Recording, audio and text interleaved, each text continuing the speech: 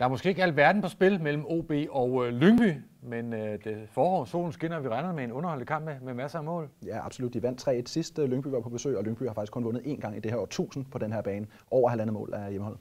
OB har ikke en eneste gang i den her sæson vundet mere end to hjemmesejre i træk. Og lige nu står de på to sejre i træk. Lyngby, de tager den her. De, de fortsætter den, den lidt kedelige rekord, og derfor så er der altså penge på Lyngby Aarhus Jakob.